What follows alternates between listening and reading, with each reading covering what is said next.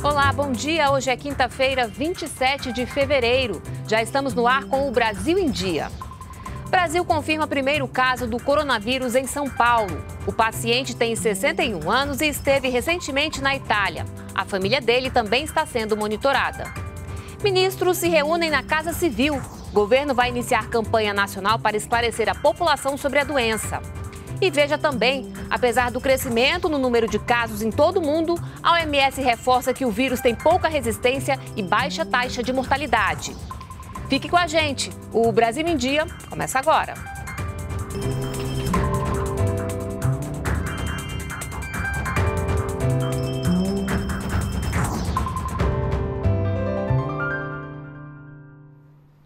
São 9 horas e 45 minutos. Estamos ao vivo também pelas nossas redes sociais.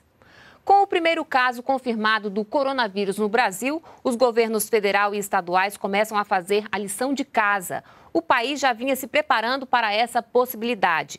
A gente vai conversar agora com a nossa repórter Luana Karen, que tem outras informações para a gente. Luana, essas decisões saíram de uma reunião ontem à noite com vários ministros, não é isso? Bom dia para você. É isso mesmo, Carla. Bom dia. Bom dia a todos que nos acompanham aqui na TV Brasil. As palavras de ordem do governo federal são prevenção, combate e cautela. Por isso, será lançada nas próximas semanas uma campanha nacional de esclarecimento sobre o novo coronavírus. A ideia é orientar sobre medidas de prevenção, como higienizar as mãos com álcool. Os sintomas também parecidos com o da gripe, como febre e tosse. E em caso de dúvidas, as pessoas podem ligar para o telefone 136. O Ministério da Saúde quer combater as fake news que são comuns é, em ocasiões como essa. Então, só mais uma vez relembrando, o telefone de esclarecimento é o 136. Ainda de acordo com as autoridades, as unidades básicas de saúde estão preparadas para atender os casos que vierem a ocorrer com salas de triagem e leitos disponíveis para cuidados intensivos se for necessário. Além, uh, além do caso confirmado ontem em São Paulo, o Ministério Ministério da Saúde monitora outros 20 casos suspeitos. Carla. Agora, Luana, essas ações, só para reforçar, saíram de uma reunião ontem à noite com os ministros de Estado, né? Exatamente, Carla, respondendo agora a sua primeira pergunta, assim que foi confirmado o primeiro caso da doença no país, além de uma reunião do ministro Mandetta com técnicos do Ministério da Saúde, o ministro da Casa Civil, general Braga Neto, convocou uma reunião do grupo interministerial de emergência. Nove ministros participaram para poder alinhar os procedimentos. Vamos ver como foi. Oito ministros se atualizaram sobre as medidas de monitoramento já implementadas, incluindo notificações de portos, aeroportos e fronteiras. Ficou definido que o país entra agora na fase de contenção. De acordo com a Casa Civil, todos os estados já enviaram ao Ministério da Saúde seus planos de ação para enfrentamento à doença e o Ministério da Saúde fez licitação para aquisição de equipamentos de proteção individual, como máscaras, para ampliar os estoques já disponíveis em todas as unidades da federação. O ministro Luiz Henrique Mandetta citou algumas das ações decididas nesta reunião. Você pega o Ministério da Cidadania, eles têm lá, eles têm o pessoal do LOAS, do BPC, são pessoas mais frágeis, tem o Bolsa Família. Aí você pega o ministro Moro, ele tem uma população carcerária de quase 500 mil pessoas em regime fechado, são pessoas que estão aglomeradas, que estão num regime de privação de liberdade. Você tem relações exteriores, o ministro Ernesto, com toda essa informação para os outros países, trânsito de informações. O ministro Fernando, da Defesa, com toda essa questão é, relacionada a fronteiras, a logística, todos eles, de uma maneira ou de outra, o Ministério da Saúde comunica as suas impressões, as suas preocupações, para que cada um vá pensando, cada um vá colaborando com essa uh, posição de muita unidade que o governo vem tendo desde o início desse, desse trabalho. Agora, Luana, mudando um pouquinho de assunto, o presidente Bolsonaro já está de volta a Brasília? Já sim, Carla. O presidente é, Jair Bolsonaro voltou ontem a Brasília depois de passar o carnaval em Guarujá, no litoral de São Paulo. Ele está nesse momento reunido aqui no Ministério da Defesa com os ministros da Defesa, Fernando Azevedo e Silva, e da Justiça e Segurança Pública, Sérgio Moro. Também participam dessa reunião os ministros da Advocacia Geral da União, do Gabinete de Segurança Institucional, da Casa Civil e da Secretaria de Governo. A pauta da reunião não foi divulgada, mas a gente sabe que o governador do Ceará, Camilo Santana, pediu a prorrogação das forças militares no estado. O decreto de garantia de lei e ordem vence amanhã, então há expectativa de uma resposta do governo federal sobre esse pedido, eh, se vai aceitar ou não a prorrogação das forças militares lá no Ceará. Outro assunto que deve entrar na pauta dessa reunião aqui no Ministério da Defesa é a atuação das Forças Armadas na prevenção e no combate ao novo coronavírus. Carla, voltamos com você. Obrigada, Luana, pela sua participação. E o ministro da Saúde, Luiz Henrique Mandetta, também descartou a hipótese de o Brasil limitar o ingresso de estrangeiros como forma de tentar dificultar a disseminação do novo coronavírus. Segundo o ministro, a interrupção de voos não seria eficaz. E o Ministério da Saúde informa que o paciente infectado está em casa sendo monitorado e passa bem.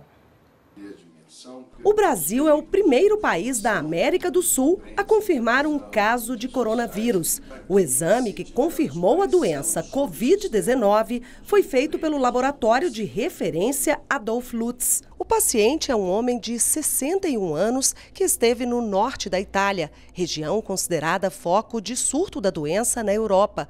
Ele retornou ao Brasil na última sexta-feira. O diagnóstico veio na segunda no Hospital Albert Einstein, em São Paulo, cidade em que ele vive. É mais uma gripe que a humanidade vai ter que atravessar. Das gripes históricas com letalidade maior, ela se comporta bem a menor ela tem uma transmissibilidade similar a determinadas gripes que a humanidade já superou e já passou. O Brasil já havia adotado o status de emergência em saúde pública de importância nacional, mesmo antes da confirmação de um caso da doença. Agora, uma das medidas é localizar e monitorar as pessoas que tiveram contato com o paciente. A Anvisa solicitou a lista dos passageiros que vieram para o Brasil no mesmo voo. O Ministério da Saúde tem um comitê de operação de emergências. Estamos discutindo com especialistas para tomar as melhores medidas possíveis de acordo e proporcionalmente a cada cenário e cada risco. Além do caso confirmado, o Ministério da Saúde monitora outros 20 casos suspeitos do novo coronavírus no Brasil dois na região Nordeste, 16 na região Sudeste e dois na região Sul. Outros 59 casos foram descartados. O ministro Luiz Henrique Mandetta reforça os cuidados para evitar a transmissão da doença. Cuidados com higiene, etiqueta respiratória. Teve gente que achou é, graça nesse termo, mas é o termo correto, é o termo que a gente utiliza na ciência que é você lavar as mãos, lavar os, o rosto com água e sabão. Água e sabão todo mundo tem. O brasileiro precisa aumentar o número de vezes que lava as mãos e lava o rosto durante o dia. E o governo de São Paulo criou um centro de contingência para monitorar casos suspeitos do novo coronavírus. O primeiro caso de coronavírus no país foi confirmado a partir de exames feitos aqui no Instituto Adolf Lutz, laboratório de referência científica e credenciado pelo Ministério da Saúde. O homem de 61 anos é morador da capital paulista e esteve no norte da Itália entre os dias 9 e 21 de fevereiro. Paciente foi atendido no Hospital Albert Einstein na segunda-feira, que o encaminhou para tratamento em casa pelos próximos 14 dias. A decisão foi tomada porque o estado de saúde dele é bom. Com a confirmação do caso, o governo do estado de São Paulo vai formar uma frente com hospitais privados. O Brasil, neste momento, é um país que passa pela sua estação de verão, onde há menor possibilidade da transição do vírus. Diferentemente, é só olhar o mapa do que acontece nos países mais envolvidos, que estão em período de inverno e outono. Então, vírus gosta de frio, não gosta de calor nós não sabemos como o vírus vai se comportar no Brasil ainda. Segundo o comitê, a situação em São Paulo está sob controle. Apesar do paciente ter tido contato com pelo menos 34 pessoas, nenhuma delas tem sintomas da doença. Os familiares já estão todos contatados. Né? A orientação é que eles estejam é, atentos à sintomatologia e não, é, quando tiver a sintomatologia, que nós orientamos, nós é, entramos em contato por telefone, por visita domiciliar. Se tiver a sintomatologia, já procurem um serviço de saúde. Com o crescimento de casos do novo coronavírus, aumenta também a preocupação das pessoas diante, a preocupação das pessoas. E diante disso, a Organização Mundial da Saúde, a OMS, informa que a doença tem uma taxa de mortalidade baixa e grupos de risco específicos. Vamos então agora ao Rio de Janeiro conversar com a repórter Alessandra Lago, que tem outras informações para a gente. Olá, Alessandra, bom dia para você. Oi, Carla, bom dia. É isso mesmo. A taxa de mortalidade pelo novo coronavírus é de cerca de 2%, de acordo com a Organização Mundial da Saúde. Na China, onde estão concentrados 96% dos casos, a taxa é ainda menor, 1%, já que as pessoas começam a desenvolver anticorpos contra a doença. Os grupos de maior risco são adultos com 60 anos ou mais, gestantes e crianças menores de 2 anos. Até agora, nenhuma criança na faixa entre 0 e 9 anos morreu vítima do novo coronavírus. Segundo a OMS, a probabilidade de contaminação por meio de mercadorias comerciais é pequena. Isso porque o vírus é pouco resistente no ambiente e a diferentes condições de temperatura. Por ser pouco resistente, o novo coronavírus pode ser morto por produtos de limpeza, como álcool a 70% e a combinação de água e sabão. Rússia, China e Estados Unidos já pesquisam uma vacina e a China espera ter a epidemia sob controle no fim de abril. Carla. Obrigada, Alessandra, pela sua participação. Durante o feriado de férias escolares ou feriados prolongados, como agora no Carnaval, os estoques de leite humano costumam ficar reduzidos. Os primeiros meses do ano são os que têm o menor número de doações. Segundo o Ministério da Saúde, o mês de janeiro apresentou um dos mais baixos índices já registrados, em torno de 10,7 mil litros de leite doados. O leite materno possui tudo que o bebê precisa até os seis meses de vida. Assim, a doação de leite é uma importante estratégia para a redução de mortes em bebês. E para doar, basta procurar o banco de leite humano ou o posto de coleta mais próximo da sua residência. Outras informações é só ligar no Disque Saúde no número 136. E quem disse que carnaval não combina com preservação do meio ambiente? Aqui na capital federal, um dos blocos de rua da cidade deu exemplo e mostrou que é possível. Tem fantasia, adereço e rosto colorido em todo canto. Confete também não falta. Glitter e purpurina, então, o carnaval é uma festa.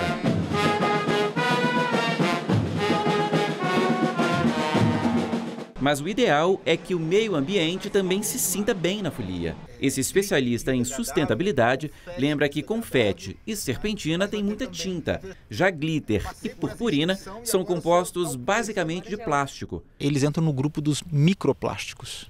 E os microplásticos eles têm um problema sério porque eles são descartados. Por exemplo, uma pessoa que usa é, glitter ou purpurina, quando toma banho, aquilo sai do seu corpo e vai para o esgoto. A boa notícia completa o especialista é que tem alternativa. Material biodegradável, por exemplo, é muito fácil encontrar na, na, na internet é, ofertas de confetes feitos de folhas de árvores.